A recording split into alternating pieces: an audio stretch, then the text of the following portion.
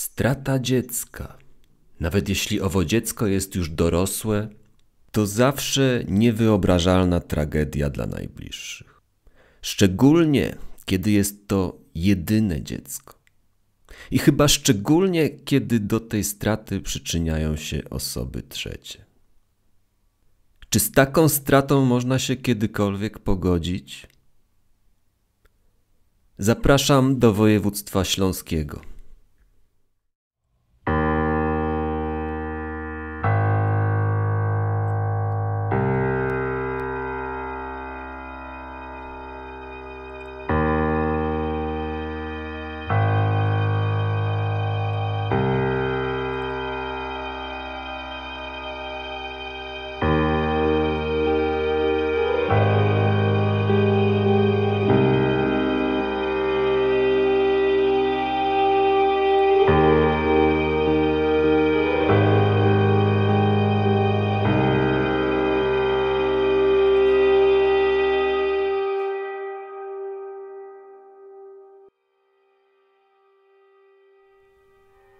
Dziś zakotwiczymy w województwie śląskim, choć w mieście, które z samym Śląskiem ma niewiele wspólnego. Jesteśmy bowiem w Częstochowie. Jest rok 2000. Częstochowa to duże 250-tysięczne miasto. Ku uciesze jednych i niezadowoleniu innych znana jest przede wszystkim z mieszczącej się tu bazyliki i klasztoru na Jasnej Górze głównego polskiego ośrodka kultu maryjnego i najważniejszego centrum pielgrzymkowego. Niespełna dwa lata temu, za sprawą nowego podziału administracyjnego Polski, rozpoczął się proces powolnej degradacji miasta. Wtedy to bowiem zniknęło z mapy województwo częstochowskie, a Częstochowa, pomimo prób i starań władz miasta i jego mieszkańców, przestała być miastem wojewódzkim i została włączona do nowo utworzonego województwa śląskiego. Częstochowa stała się tym samym największym polskim miastem niewojewódzkim. Krocząca degradacja miasta nie oznacza bynajmniej, że wszystkim jego mieszkańcom nagle przestało się powodzić i zmierzają ku upadkowi społecznemu i ekonomicznemu. Bynajmniej, przecież to wcale nie musi iść w parze. Są tacy, jest ich wielu, co ciężko pracują.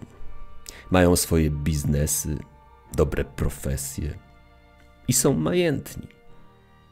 Do takich Częstochowian niewątpliwie należy rodzina Eliaszów. Małżeństwo Henryka i Remigiusz oraz ich 22-letni syn Łukasz mieszkają w dzielnicy Grabówka – w okazałej willi przy ulicy Średniej. Pan Remigiusz jest właścicielem dobrze prosperującej firmy odzieżowej. Pani Henryka jest lekarzem neurologiem i prowadzi prywatną praktykę. Jedyny syn pary, Łukasz, jest studentem czwartego roku lokalnej Politechniki Częstochowskiej. Kształci się na Wydziale Inżynierii Mechanicznej jest jednym z wyróżniających się studentów na tym wydziale. Łukasz to bezkonfliktowy, przyjazny, bardzo lubiany przez rówieśników chłopak. Ogromny fan motoryzacji. Bez auta albo motocykla praktycznie nigdzie się nie rusza. Jest typem młodego człowieka, który to nawet do piekarni za rogiem zawsze podjeżdża autem. 22-latek od trzech lat spotyka się z Agnieszką. Co prawda z przerwą kilkumiesięczną, ale niedawno znów zaczęli się spotykać. Wrócili do siebie. W trakcie tej przerwy Łukasz odnawia starą znajomość z czasów liceum. Nie z żadną kobietą bynajmniej, a z niejakim Pawłem I, zwanym Easy, z którym prawdopodobnie połączył go jakiś biznes. Tej pory Easy staje się częstym gościem w willi przy ulicy Średniej. Zaskarbia sobie sympatię nie tylko Łukasza, ale i jego rodziców. Sprawia wrażenie osoby przedsiębiorczej, z głową na karku, osoby godnej zaufania. Do tego stopnia, że wobec potrzeb chłopaka, jego prośby, na początku grudnia 2000 roku pan Remigiusz decyduje się pożyczyć koledze syna 20 tysięcy złotych.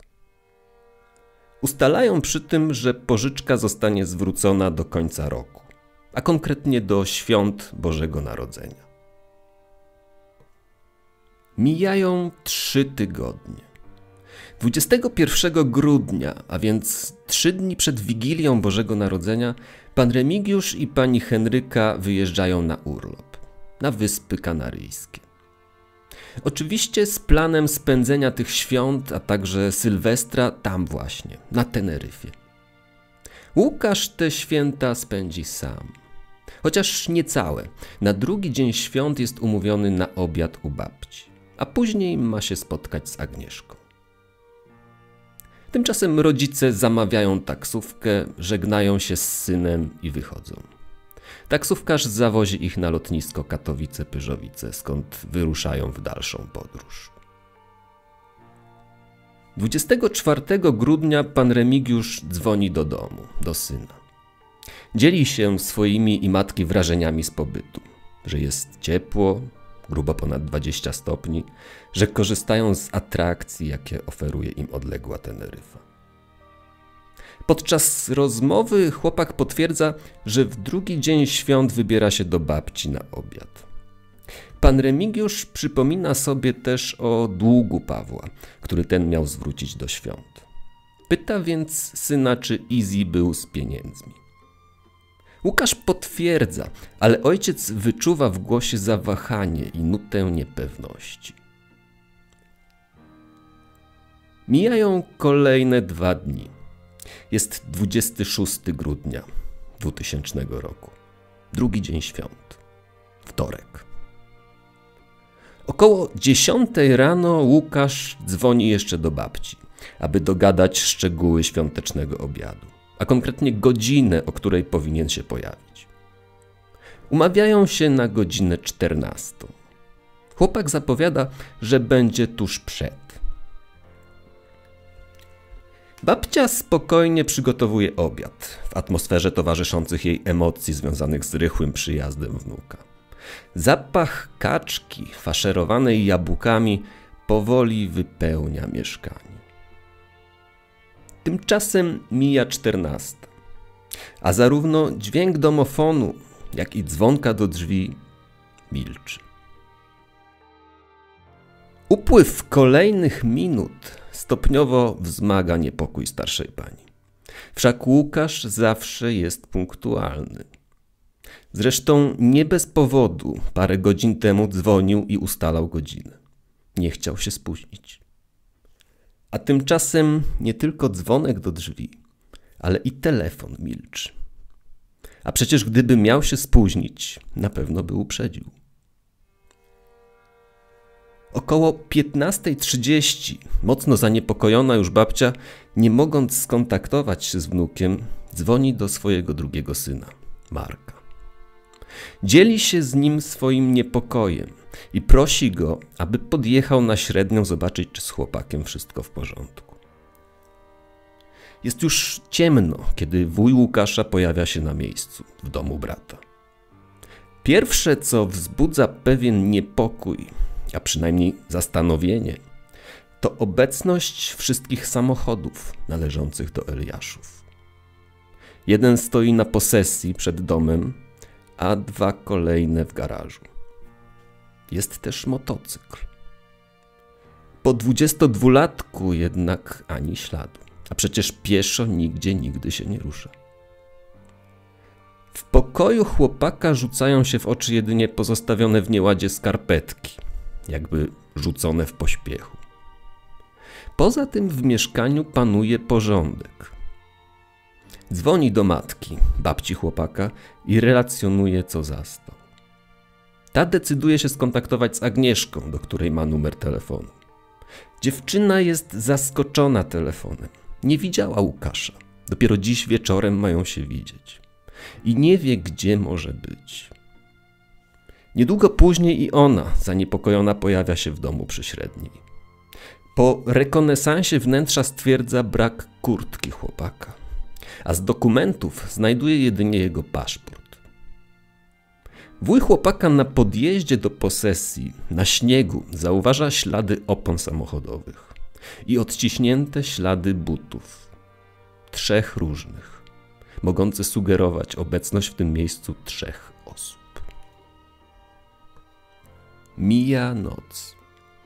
Nazajutrz, pierwszego dnia po świętach, jako że student w dalszym ciągu nie pojawił się w domu, ani jakkolwiek nie skontaktował się z rodziną, sprawa zostaje zgłoszona na policję. Z uwagi zapewne na fakt, że rodzina Eliaszów jest w Częstochowie powszechnie znana i majętna, policja nie zamierza bagatelizować zgłoszenia. Funkcjonariusze natychmiast zakładają bowiem, że doszło do porwania porwania dla okupu. Przystępują do czynności mających na celu ustalenie miejsca przetrzymywania chłopaka i oczywiście ustalenia osób odpowiedzialnych za ten czyn. Śledczy zakładają podsłuchy na telefony rodziny, mając przekonanie, że lada chwila porywacze będą dzwonić z żądaniem okupu. O potencjalnym porwaniu oczywiście zostają powiadomieni również rodzice zaginionego przebywający na Wyspach Kanaryjskich. Ci natychmiast decydują się przerwać urlop i wracać do kraju. Dzień później, 28 grudnia, są już w Częstochowie. Natychmiastowe pobieżne przeszukanie mieszkania dokonane przez pana Remigiusza po powrocie doprowadza do ustalenia, że z domu wraz z Łukaszem zniknęły również metalowe kasetki, w których znajdowało się około 100 tysięcy złotych. Nigdzie nie znaleziono też 20 tysięcy, które to rzekomo oddał Easy.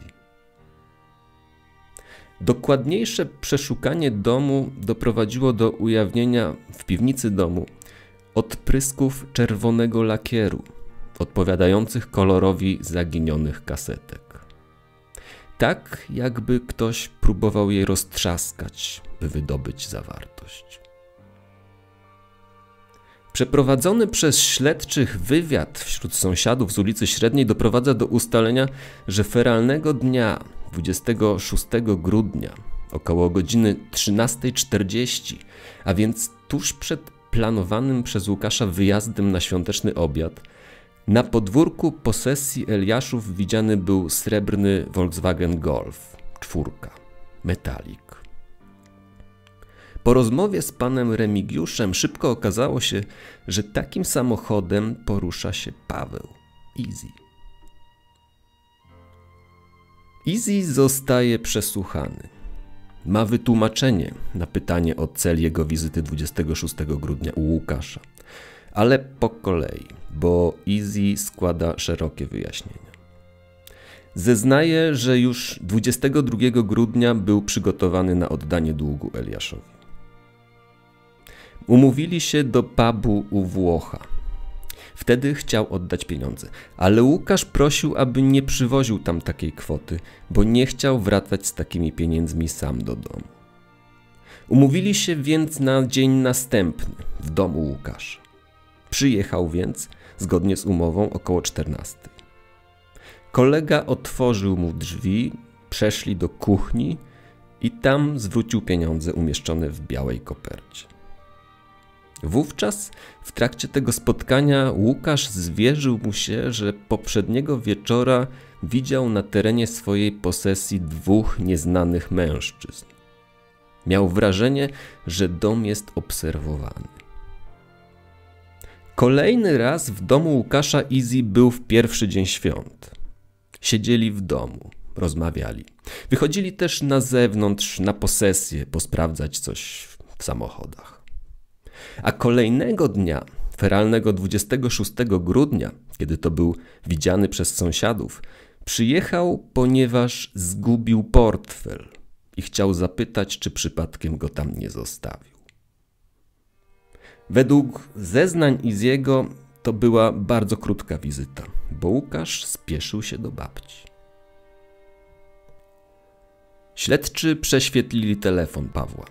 Okazało się, że 26 grudnia, dokładnie o godzinie 13.41, a więc w czasie, kiedy był widziany na posesji Eliaszów, wykonane było z niego połączenie na numer alarmowy 112. Połączenie odebrano na komendzie miejskiej policji w Częstochowie, jednak po zaledwie dwóch sekundach zostało przerwane. Czy w krytycznej sytuacji mógł chcieć skorzystać z niego Łukasz? Funkcjonariusze śledczy postanowili bliżej przyjrzeć się osobie Pawła I. Ich uwagę przykuła sytuacja finansowa chłopaka. Okazało się, że nie rysowała się ona w różowych barwach. Był mocno zadłużony u wielu osób. Często pożyczał pieniądze od znajomych. Były to każdorazowo kwoty sięgające kilkunastu tysięcy złotych. Pod koniec listopada zwrócił się z prośbą o udzielenie pożyczki do Łukasza. Chodziło o wspominane już 20 tysięcy złotych. Łukasz nie dysponował taką kwotą, ale przekierował prośbę kolegi do ojca i uzyskał te pieniądze. Sporządzono stosowną umowę na piśmie i dokładnie 3 grudnia Łukasz przekazał pieniądze Iziemu, a ten przeznaczył pożyczkę na spłatę poprzednich zobowiązań. Po tych rewelacjach 4 stycznia 2001 już roku prokuratura stawia Pawłowi i zarzut bezprawnego pozbawienia wolności oraz kradzieży z włamaniem. Easy zostaje zatrzymany. Próbuje tłumaczyć, że nie ma nic wspólnego z zaginięciem Łukasza, a pieniądze na zwrot długu wobec Eliaszów uzyskał od swojej dziewczyny i zgodnie z umową spłacił dług. Jednak częstochowscy śledczy nie dają wiary tym wyjaśnieniom. Paweł I trafia do aresztu na trzy miesiące. Mijają dni, mijają tygodnie. W tak zwanym międzyczasie powstaje pierwsza Wikipedia w języku angielskim. George W. Bush zostaje zaprzysiężony na 43. prezydenta Stanów Zjednoczonych.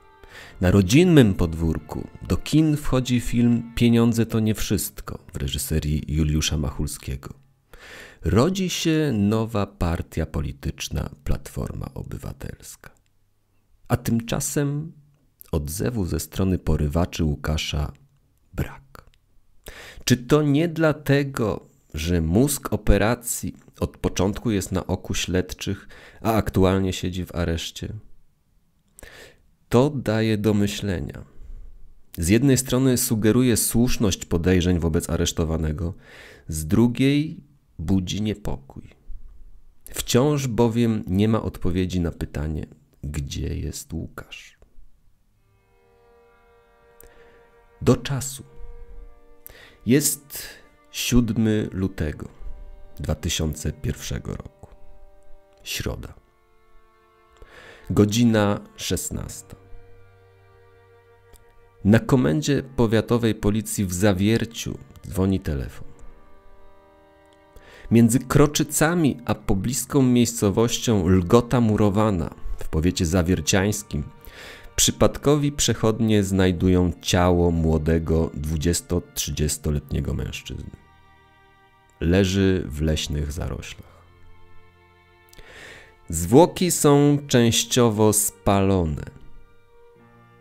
Krótko po zgłoszeniu na miejsce pojawiają się funkcjonariusze. Denat leży na plecach z przykurczonymi nogami. Ręce ma skrępowane drutem. Tułów jest częściowo zwęglony, głównie w okolicy biodrowej. Wstępna identyfikacja pozwala ustalić, że zwłoki mogą należeć do zaginionego Częstochowianina. Późniejsze wyniki badań DNA nie pozostawią wątpliwości. To ciało 22-letniego Łukasza Eliasza. Nie udaje się jednak ustalić bezpośredniej przyczyny zgonu. Nie ma wątpliwości jedynie, że spalenia zwłok dokonano już po śmierci. Polano ciało łatwopalną cieczą i zainicjowano pożar przy użyciu zapałki lub zapalniczki. Ponadto ustalono, że spalenia dokonano prawdopodobnie dzień przed znalezieniem ciała. Dotarto do świadków, którzy 6 lutego przejeżdżali drogą oddaloną o 200 metrów od miejsca znalezienia zwłok i widzieli łunę pochodzącą jakby od gwałtownie rozpalonego ognia. Wiadomo już, że zaginięcie młodego chłopaka zakończyło się tragicznie. W dalszym ciągu jednak tajemnicą pozostają okoliczności, w jakich 22-latek stracił życie. Nieznane są też osoby, które się do tego bezpośrednio przyczyniły. W toku dalszych czynności śledczy ustalili, że Łukasz rzeczywiście mógł się obawiać, że jego dom jest obserwowany. 22 grudnia bowiem sąsiedzi poinformowali go, że widzieli na terenie posesji dwóch mężczyzn, którzy na ich widok uciekli. Nie potrafili jednak podać rysopisu, który mógłby pchnąć sprawę do przodu. Informacja o intruzach musiała mocno zaniepokoić samotnie pozostałego na Włościach studenta, bowiem następnego dnia, 23 grudnia, skontaktował się w tej sprawie z agencją ochroniarską. Nie zdecydował się jednak ostatecznie na ich usługi. Świadkowie zeznali ponadto, że srebrnego Volkswagena Golfa feralnego 26 grudnia widzieli przed domem Eliaszów również mniej więcej od godziny 10 do 13. W mieszkaniu Pawła I z kolei ujawniono list. List pożegnalny autorstwa Iziego, skierowany do jego dziewczyny, którego treść wskazuje, iż może popełnić samobójstwo bądź może zostać sprzątnięty z tego świata przez osoby, którym jest winien pieniądze. List opatrzony jest datą 22 grudnia. Co ciekawe, w tej sprawie dotarto do świadków dość licznych, których zeznania poddają w wątpliwość fakt porwania. Łukasz był bowiem widziany nawet wiele dni po zaginięciu. I tak na przykład w jeden ze styczniowych wieczorów widziany był w sklepie w oddalonym o 30 km od Częstochowy Janowie. Pojawił się krótko przed zamknięciem sklepu. Kupił kilka piw. 12 stycznia, późnym wieczorem, około 23, widziany był w miejscowości Kostkowice, koło Kroczyc kilka kilometrów od miejsca, w którym później znaleziono jego zwłoki. Pytał jedną z mieszkanek miejscowości, czy może na jej posesji zostawić samochód. Poruszał się bordowym BMW i był w towarzystwie dwóch mężczyzn. Zabrakło im paliwa. Postawili auto na posesji mieszkanki Kostkowic i chodzili po domach w poszukiwaniu benzyny. W bezpośrednich rozmowach do jednego z mężczyzn pozostali zwracali się Juras. Prawdopodobnie udało im się uzupełnić braki paliwa, bo jeszcze tej samej nocy samochodem odjechali. Z kolei 20 stycznia widziany był w barze Pstrąg w miejscowości Kromołów pod Zawierciem. Widziała go barmanka tego baru. Był w towarzystwie dwóch lub trzech mężczyzn i prawdopodobnie jednej młodej kobiety. W tym lokalu widziany był też kilka dni później. Żaden ze świadków nie zauważył, aby Łukasz był pod jakąkolwiek presją ze strony towarzyszących mu osób. Przy okazji prowadzonego śledztwa funkcjonariusze uzyskali informacje o kilku innych porwaniach w regionie. Ofiary miały być przetrzymywane w jednym z obiektów na terenie zawiercia.